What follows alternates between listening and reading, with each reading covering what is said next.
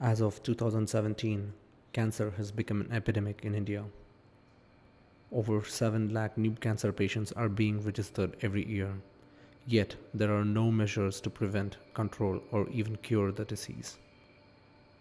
With many promises in the field of healthcare, millions of patients are suffering and dying after taking the mainstream Western oncological treatments. There is, however, a growing awareness of cannabis being a potential cure for various kinds of cancers and many other illnesses. Yet, the entire nation continues to ignore and ridicule one of the most powerful and also an indigenous plant of India. To better understand all of this, I travel all the way to Chennai to meet Dr. B.M. Hegde, who is a cardiologist, author, teacher, and a medical scientist. My only hope was to find a perspective on this ongoing madness of a greedy, toxic, modern healthcare system. Somebody did an audit recently of two slots of time, 40 years, 1900 to 1940, 1950 to 1990. Now 1900 to 1940 we didn't have any treatment for cancer. The treatment was tender loving care and good food.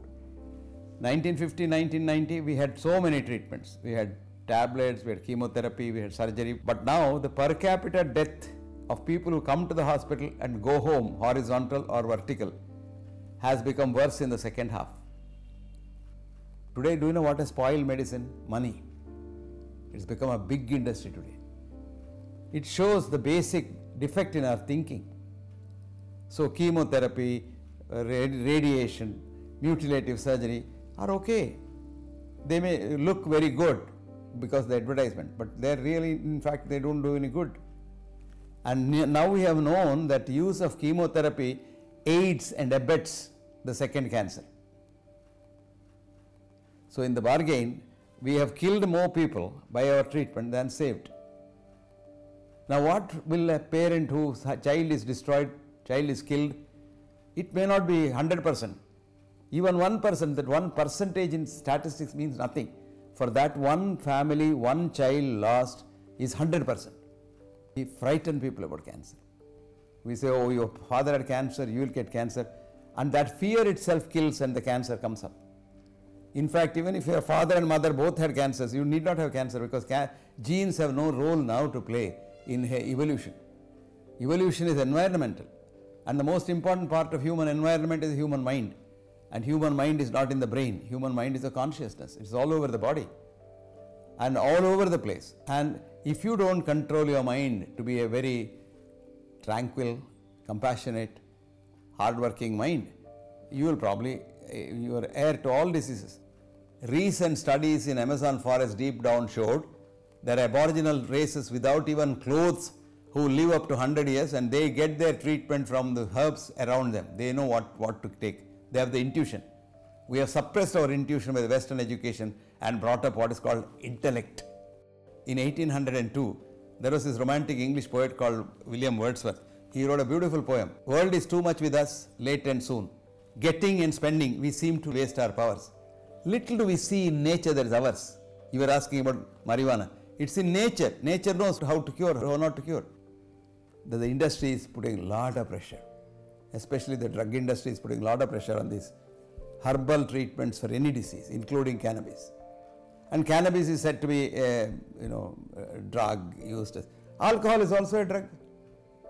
Alcoholic cardiomyopathy kills more people than heart attack kills. Does the government take any action? And alcohol is one of the important causes of cancer along with tobacco. Now, does anyone go near tobacco? Tobacco industry is very powerful. If we can ban tobacco growth in this world and we can ban alcohol, 75% of the cancers are gone. Do we want cancer to go? No. Cancer industry is a big industry. We don't want to break our own rice bowl. I'll give you a very simple example. If cancer can be screened early, it should be uh, screened probably when it started, which is about 10 or 15 years before the real cancer comes as a clinical cancer. Or the day the cell becomes a cancerous cell or mutates to become a rogue cell, the cancer starts. And this cell travels all over the body and it can dep- get deposited anywhere. And then it may take 10 years, 15 years, 20 years for the main cancer to come up somewhere, maybe in the breast, maybe in the stomach. By the time you detect it very early, the seedlings have gone all over the body. So after you remove the cancer, treat it, another cancer crops up somewhere else. So we want more cancers. That's why we say screen cancer so that now we can treat more people. Screening is a big industry. Did you know that? Screening is the biggest industry because in screening you have 6.2 billion people. In treating patients, you have only a few million on a given day. Everybody is not ill, but everybody in the world can be scanned. Every child born can be vaccinated. So these are the two big industries scanning industry and vaccine industry. And this is owned by the richest people in this world. Karl Popper, a great thinker in the 50s, said, Knowledge advances not by repeating known things, but by refuting false dogmas. There are so many false dogmas in the field of medical science, so called Western medical science, that these things need to be demolished. To do that, you have to do refutative research. What we do is we simply follow the Western system, RCT studies. Randomized control studies have now been proved to be unscientific.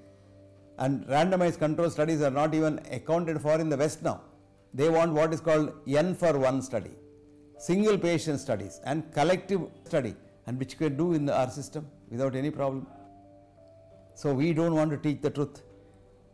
Learning and teaching must be everyday learning. Things change every day. That's why I have coined a new word 21st century illiterates. Most of us are 21st century illiterates. Today, illiterate doesn't mean not knowing how to read and write. A illiterate today is one who cannot unlearn the wrong things he has learned and relearn the right things. But we have banned marijuana. Even medicinal marijuana we have banned. We have not allowed anybody to try that.